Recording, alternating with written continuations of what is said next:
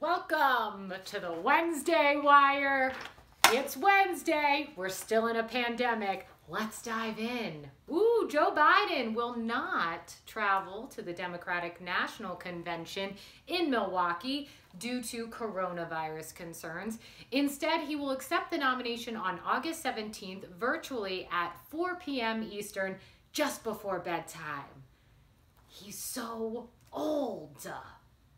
The governor of Mississippi mandated masks for all public gatherings.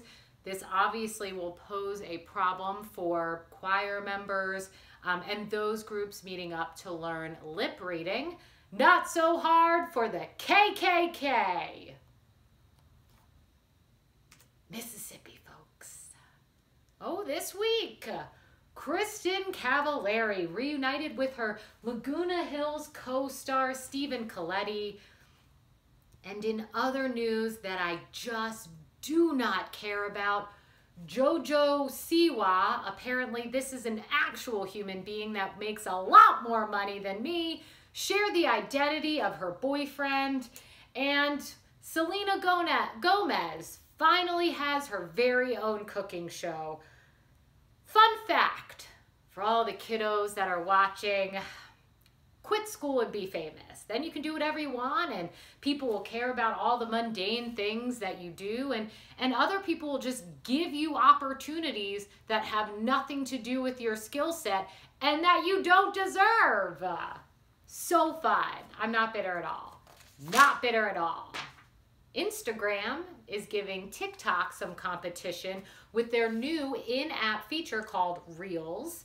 Just like TikTok, Reels allows users to record 15 second videos, add audio and music.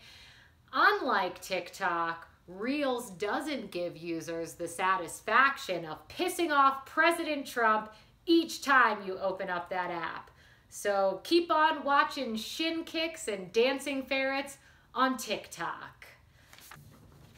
Well, folks, I cannot believe I'm saying this, but we have a very special interview with Vladimir Putin's babushka. That's right, Vladimir Putin's grandmother, Babushka Barb, is on the Wednesday Wire coming in from Russia. Babushka Barb, thank you so much for being on the wire.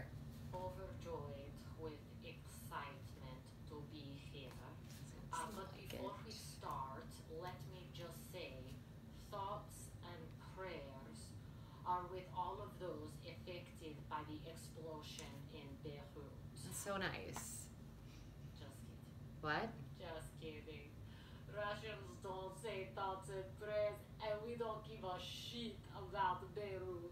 Well, coming in hot. So, as Vladimir Putin's babushka, what's your take that your grandson offered Taliban troops bounties for killing U.S. soldiers? Not much. I mean, who cares? Who? People die all the time. What? In Russia, 10,000 people a year are eaten by Siberian tigers. Okay, that's not 6,000 are murdered by icicles, so I don't know what to tell you. And what about all of those reporters who disagree with the Kremlin and die falling out of windows? It's a well-known fact that windows are very dangerous, Kelly, especially when you speak ill of my blackberry. Well, a lot of Americans like myself think that Vladimir Putin is a master manipulator, a murderer, an evil dictator. What can you share about him that would make us feel otherwise? Because oh my gosh. My he's kind of an asshole. He is so smart. Is he? When he was seven, he built bomb and put bomb underneath neighbor's car because our neighbor called me fat. That seems. He's so sweet. That seems aggressive. An incredible communicator.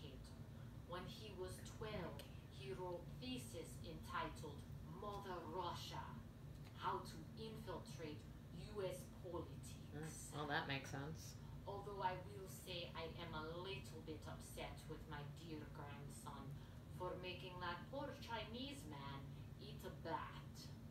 But uh, as your Americans say, shit happens. Well, an interesting turn of events there, Babushka Barb. Um, I have a note here that you wanted to plug your Yes, podcast. Subscribe to my new podcast. It is called Lukewarm Cabbage Soup for the Cold-Hearted Russian Soul. it's okay. Well, way to plug that hard, Barb.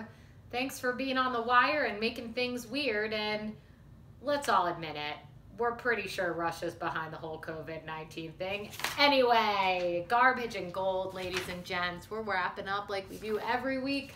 We got to get to the trash before we get to the gold.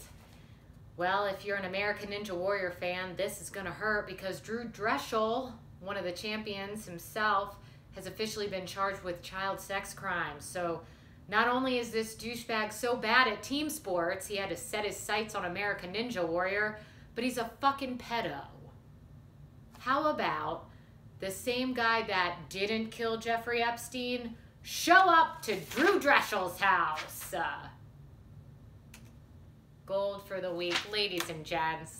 2020 is finally getting a tad bit better. Lifetime has announced it will feature its first holiday movie with an LGBTQ romance as the lead story.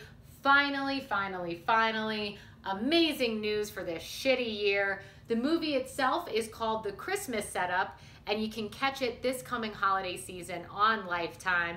And I'm sure there's some conservatives that are watching this that are really creeped out, but I guarantee it there's going to be at least one basic blonde bitch that looks a lot like me with some kind of dumb storyline. So, something for everybody. Thanks everybody for tuning in this week to the Wednesday Wire. I'm Kerri Gallagher. You can follow me at KG Comedy. Make sure you subscribe to Broken Drift Productions. Keep it real and stay safe.